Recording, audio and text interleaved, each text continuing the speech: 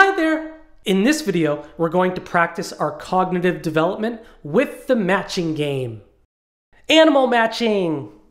So let's grab our materials and let's get started.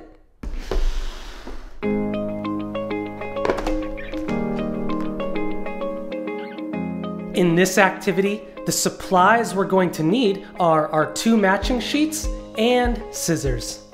First, we're gonna grab one of our matching sheets and our scissors, and parents, we're gonna cut out all of our different objects. And once we've cut out all of our different matching cards, we can play the matching game. Then, let's place our other matching sheet in front of our child. We're going to focus on one object at a time, and we're going to say the name multiple times so that way they have a chance to learn and to imitate you. What's this? It's a tiger. Can you say tiger? That's right, tiger. Where does the tiger go? there he is.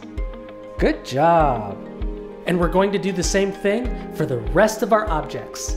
The matching game is great for our cognitive development.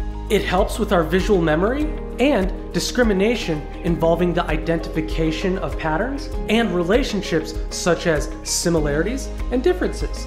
This helps children to learn about early representation and problem solving. Matching and sorting activities can also be good for developing fine motor skills. You can also take this activity further by gluing down the different objects. Gluing is another great way to practice our fine motor skills.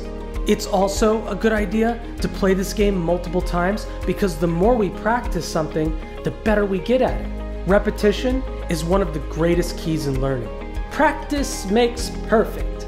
So take your time and have fun with this exercise.